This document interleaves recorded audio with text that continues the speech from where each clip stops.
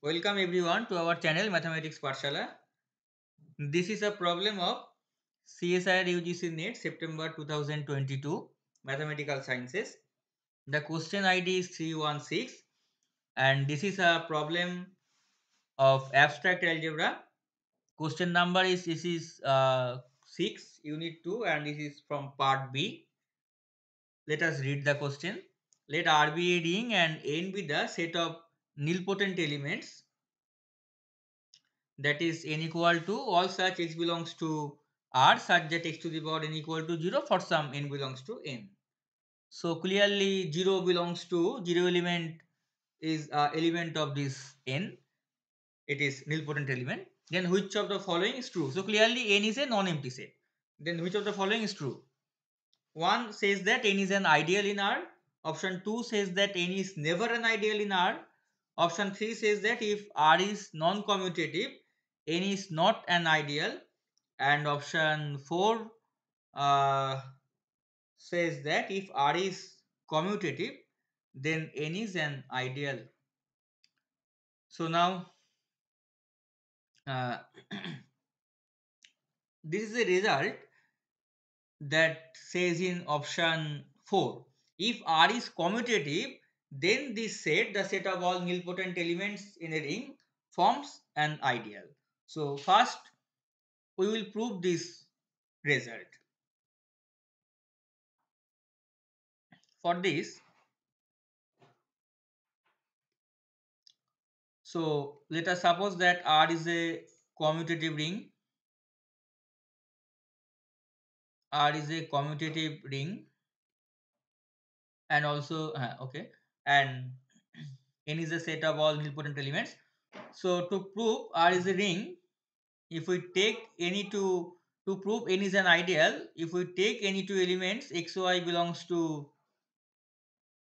this n then this x minus y should be an element of n. So x minus y whole to the power something should be 0 for some that something should be a natural number. So since xy belongs to n, so we have x to the power m equal to 0 for some m belongs to n and also y to the power n equal to 0 for some n belongs to n. So now let us calculate x minus y whole to the power m plus n. That is just simply it will be a like binomial expansion because r is commutative. So this will be m plus n sorry this will be x to the power m plus n then minus m plus n c1 x to the power m plus n minus 1 into y plus m plus n c2 x to the power m plus n minus 2 y square plus dot dot in this way it will be like m plus minus 1 whole to the power m m plus n c n x to the power m y to the power m uh, this will be really minus 1 whole to the power n probably. And then this is up to the last term will be minus 1 whole to the power this m plus n y to the power m plus n. So now this is very easy to see that this is x to the power m equal to 0 so x to the power m plus n means x to the power m into x to the power n. So 0 into something will be 0 and by similar process all this term will be 0 up to this x to the power m. All such x to the power something will be 0 because there are some x to the power m plus some r. R is greater than 0 and when it will be in this term x to the power m then r will be 0 and it will be 0 after that for also here y to the power n equal to 0. So after this term we will get some y to the power n plus say k where k greater than 0. So all such term will be 0. So this is 0. So now as x minus y whole to the power n plus n equal to 0 and n plus n is a natural number. So what we get? We get x minus y belongs to n. And then if we take any r belongs to r and x belongs to n.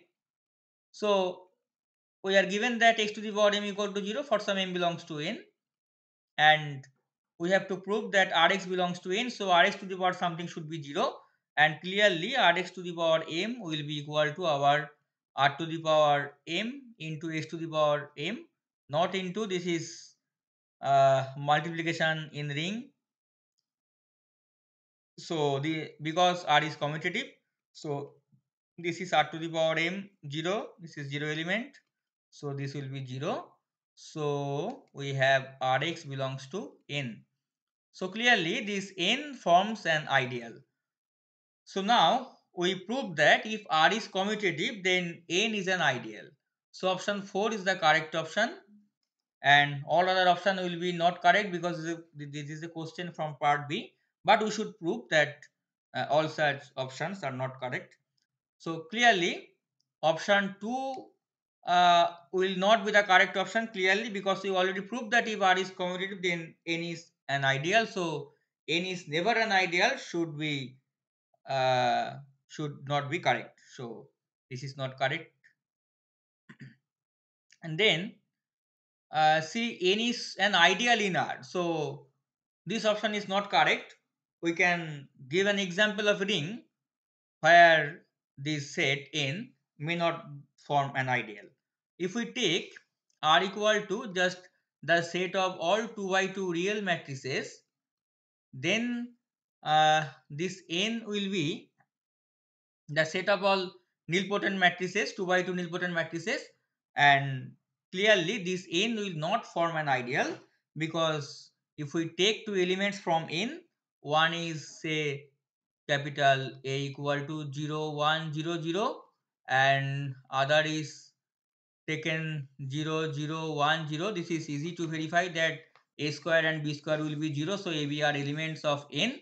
And clearly this a minus b equal to in fact a plus b equal to 0 1 1 0 and uh, date a plus b will not be 0 so a plus b is not nilpotent so A plus B does not belong to N. So this N does not form an ideal. In fact, does not form a subring. So option 1 is not the correct option in general. And for option 3, if we take a subring R1 of this given ring, the set of all 2 by 2 real matrices, we take R1 equal to the set of all upper triangular matrices. So the set is of the form A, B, 0, C such that A, B, C belongs to R. So it is very easy to see that. Let us, uh, this will left for you as an exercise to see that this R1 will form a subring of R. Now, for this ring, what this subring, which is a ring also, R1, take the set n of all nilpotent elements. So here clearly this set will be of this form 0 a 0 0 such that a belongs to r this is also we left for you as an exercise that the set n of nilpotent elements in this ring r1 is of the form like this just take an element n like AB0C and take a to the power a n equal to 0, capital A equal to AB0C and capital, A to the power n equal to 0 will imply that your A and C will be 0. So only this B can be non, uh, non-zero. So all such elements are of the form 0A 0 0. Now this is also easy to see that this set form an ideal. Because if we take two any mm, take two elements from n like 0 a 0 0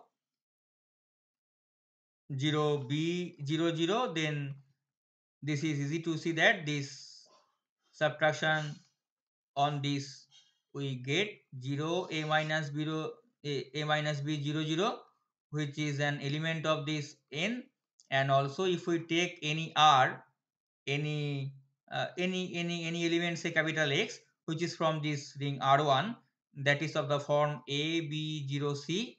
And also if we take an element a belongs to this n that is of the form 0 say a1 0 0 then also after multiplication x a will of the form this 0 something non-zero element maybe 0 0 so it will belong to n. So this n will form an ideal so so here see r1 is clearly non-commutative uh, ring but n also uh, forms an ideal so if r is non-commutative n may be an ideal so this option is not the correct option. So all option 1 2 3 are not the correct options and option 4 is the only correct option so this is the solution of this problem